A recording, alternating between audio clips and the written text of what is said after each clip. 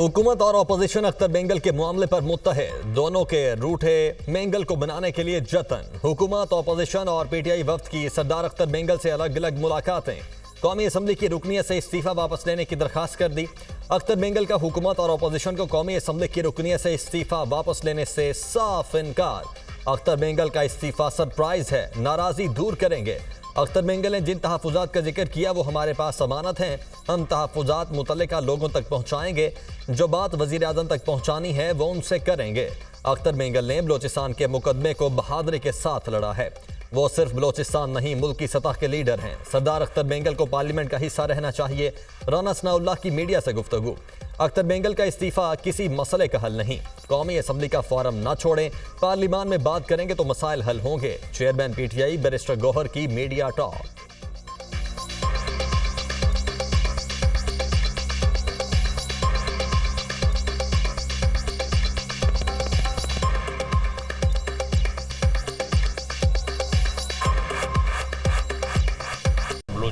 की महरूमियों से मतलब जो उनका किरदार है वो बड़ा तवाना बड़ा ताकतवर उनका किरदार है उनकी बड़ी ज़ोरदार आवाज़ है वो जो है पार्लियामेंट में मौजूद रहनी चाहिए। जिन तहफ़ात का ज़िक्र किया है वो हम दोस्तों के पास उनकी अमानत है और वो जो कंसर्न क्वार्टर्स हैं वो उनके तहफ़ात हम उन तक पहुँचाएँगे। मेरी उससे दरख्वास्त होगी आप रिकन्सिडर करें। आप इसम्बली का फोरम ना छोड़ें। इसम्बली में रहेंगे बात होगी तो जो भी मसला होगा वो इन ताला हल हो जाए नून लीग वाले मुझे कायल करने आए थे। मैंने उन्हें कायल कर लिया। इस्तीफा वापस लेने का फैसला नहीं किया। विफाकी हुकूमत बलोचिस्तान के मसाइल समझ नहीं पा रही। मैंने किसी मुश्किल ज़ुबान में बात नहीं की। सरदार अख्तर बेंगल की गुफ्तगु कैद से आज़ादी पर बहुत अच्छा महसूस कर रहा हूँ। घुटन जदा माहौल में रहने से आज़ाद रहना बेहतर है। जहाँ हमारी बात की अहमियत ना हो, वहाँ बैठने का कोई फ़ायदा नहीं। फैसले के बाद सोचना फितरत में शामिल नहीं। इस्तीफा वापस ना लेने के फैसले पर कायम हूँ। सरबराह बलोचिस्तान नेशनल पार्टी, सरदार अख्तर बेंगल।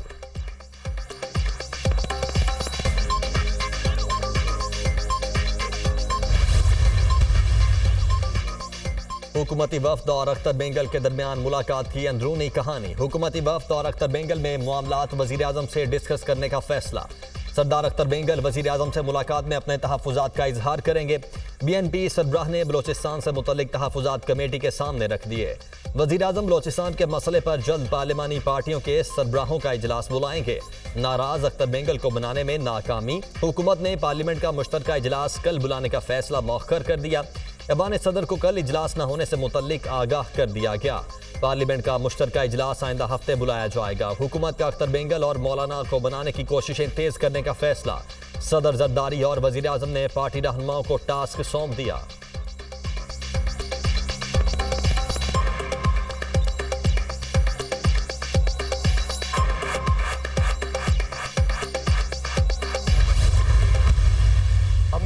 क्या है कि एक तो हम स्पीकर साहब से मिलेंगे और उनको रिक्वेस्ट करेंगे कि बलूचिस्तान के हवाले से सैर हासिल पास होनी चाहिए, कम अज़ कम दो दिन के लिए पास होनी चाहिए। और हुकूमत आके आए, पार्लियामेंट में बताए कि वो बलूचिस्तान के बारे में क्या पॉलिसी रखते हैं। हम चाहते हैं कि बलूचिस्तान के हवाले से आल पार्टी कॉन्फ्रेंस होनी चाहिए। ये हुकूमत गैर संजीदा तौर पर बलूचिस्तान को ले रही है। दो दिन से मैंने खुद इसम्बली की फ्लोर पे ये बात की कि बलोचिस्तान के हवाले से डिबेट होनी चाहिए, लेकिन हुकूमत ने कोई संजीदगी नहीं दिखाई। तहरीक इंसाफ ने हुकूमत से पार्लियामेंट में बलोचिस्तान की सूरत हाल पर ब्रीफिंग का मुतालबा कर दिया। बलोचिस्तान की सूरत हाल पर तशवीश का इजहार करते हैं। बलोचिस्तान से मुतल ऑल पार्टीज़ कॉन्फ्रेंस होनी चाहिए। विफाकी हुकूमत बलोचिस्तान की सूरत हाल के हवाले से संजीदा नहीं। अख्तर मेंगल ने हालात से मायूस होकर इस्तीफा दिया, जो तशवीशनाक बात है। जो कुछ बलोचिस्तान में हो रहा है, संजीदगी का मुजाहरा करना चाहिए। रहनुमा पीटीआई असद कैसर की मीडिया से गुफ्तु ये जर और ज़ोर से इकतदार में आए हैं। मौजूदा हुकूमत आईनी नहीं है। नवाज़ शरीफ भी इस नतीजे पर पहुँचे हैं कि हुकूमत नहीं चल रही। नवाज़ शरीफ भी चाहते हैं कि तमाम जमातों से बात की जाए। मौजूदा सियासी और मुल्क की सूरत हाल पर एपीसी बुलाने पर मुशावरत की है। एपीसी से मुतालिक एक कमेटी बना दी है। कमेटी तमाम पार्टियों से मुशावरत करेगी। ऑल पार्टीज़ कॉन्फ्रेंस में तमाम जमातों को बुलाया जाएगा। एपीसी में अपनी गलतियों का अजाला किया जाए। Mahmood Khan Achakzai. Opposition grand alliance का अहम इजलास। महमूद अचकजई, उमर अयूब, असद कैसर, रऊफ हसन और दीगर शरीक। इजलास में आठ सितंबर को जलसे की हमत अमली पर गौर। ऐवान की आइंदा की कार्रवाई पर भी मुशावरत।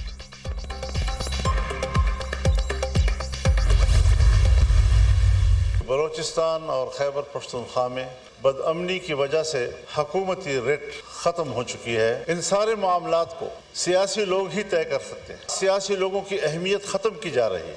सियासतदानों को बाख्तियार बनाओ।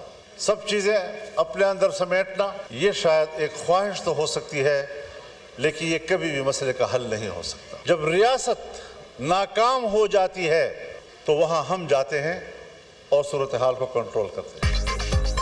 बलोचिस्तान और खैबर पख्तूनख्वा में बदअमनी की वजह से हुकूमत रिट खत्म हो चुकी है। हम प्रॉक्सी जंग लड़ रहे हैं। आलमी कुतें फ़ायदा उठा रही हैं। बलोचिस्तान में एक ही दिन में फौज पर हमले हुए हम तवज्जो नहीं दे रहे।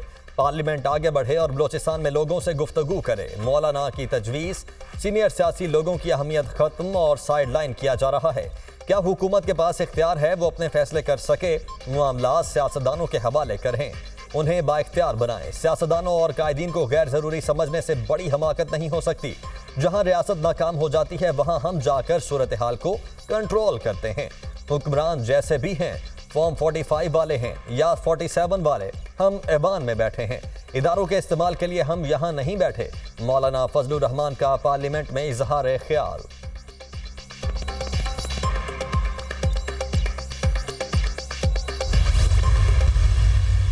जनाब चेयरमैन, जरा उन चीज़ों के ऊपर नजरसानी करें जिसने सरदार अख्तर मेंगल साहब को कंपेल की है कि वो रिजाइन दे रहे हैं। उन चीज़ों को जरा संजीदगी से देखें। किसी को उसका हक ना दें। वसाइल उनके हों। आप कहें, नहीं, आपको नहीं मालूम। हम लोग बेहतर तरीके से आपके वसाइल इस्तेमाल करेंगे। आपने उनको दीवार के के साथ नहीं लगाया हुआ। आपने दीवार के अंदर घुसेड़ के उनको, उनकी चुनाई कर दी है। अख्तर मेंगल के इस्तीफे को हल्का ना लें। वो हम सबसे ज़्यादा मुहिब वतन हैं। वज़ीर आज़म पीपल्स पार्टी और एम के एम के अरकान होश के नाखुन लें। अलमिया ये है कि डिक्टेशन कहीं और से लेते हैं। बलूचिस्तान के नौजवान इनकी बात नहीं सुन रहे। बलूचिस्तान के वसाइल वहाँ की आवाम का हक है। आपने उनको दीवार के साथ लगाया नहीं, दीवार में चुन दिया है। पीटीआई के लोगों को जबरी लापता किया जा रहा है। झूठे मुकदमात में सारी क्यादत को जेल में रखा गया। नून लीग के लोगों ने सुप्रीम कोर्ट पर हमला किया। ऑपोजिशन लीडर उमर अयूब का कौमी असम्बली में इजहार ख्याल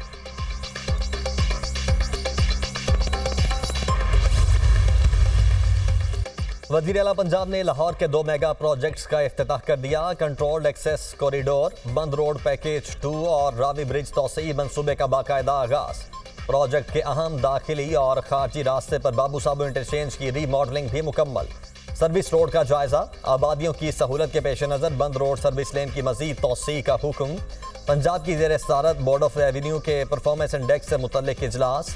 Board of revenue structure service delivery plus project recovery land management के उमूर पर ब्रीफिंग मरीम नवाज़ को बोर्ड ऑफ़ रेवेन्यू की डिजिटलाइजेशन पर पेशरफ से भी आगाह किया गया। पुलिस और इंतजामी अफसरान के बाद बोर्ड ऑफ़ रेवेन्यू में पी आई सिस्टम मुतारफ करवाने का फैसला। Commissioner deputy commissioner A C तहसीलदार और नायब तहसीलदार की कारकर्दगी का तयन के पी आई से होगा। सब रजिस्ट्रार ऑफ़िस की कारकर्दगी, रजिस्ट्री की बर वक्त तस्दीक से मुंसलिक होगी। इराजी इंतकाल से मुतलिक उमूर और इराजी रिकॉर्ड की तस्दीक भी के पी आई स्कोर में शामिल होगी।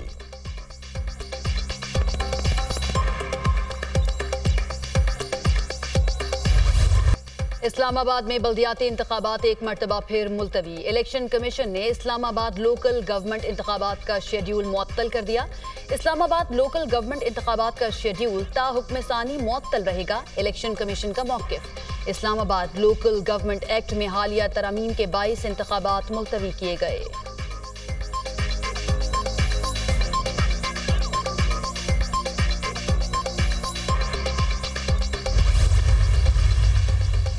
एक सौ नब्बे million pound reference Bushra Bibi की बरियत की दरखास्त पर फैसला महफूज। एहतसाब अदालत सबक खातून अव्वल की दरखास्त पर फैसला कल सुनाएगी। नैब की बुशा बीबी की रेफरेंस से बरियत की दरखास्त की मुखालफत। चेयरमैन नैब के खिलाफ वकला सफ़ाई की तोहन, अदालत की दरखास्त गैर मौसर करार। एक सौ नब्बे मिलियन पाउंड रेफरेंस के आखिरी गवाह तफ्तीशी अफसर पर जिरा नहीं हो सकी। कल की समात में नैब के आखिरी गवाह पर जिरा होगी। बानी पीटीआई और बुशरा बीबी को अदालत में पेश किया गया। एहतसाब अदालत के जज नासिर जावेद राना ने समात अडयाला जेल में की।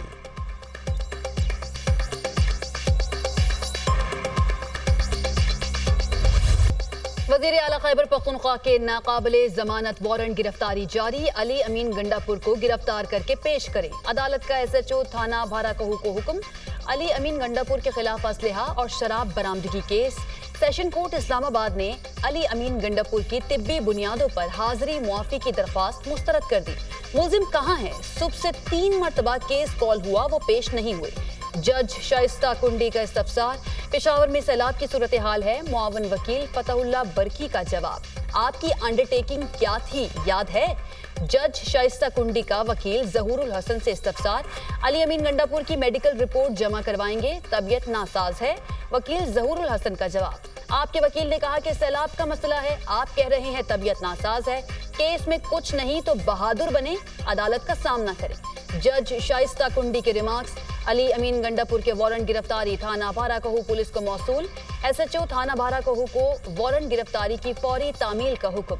इस्लामाबाद पुलिस ने अली अमीन के वकला से वारंट की तामील करवा दी।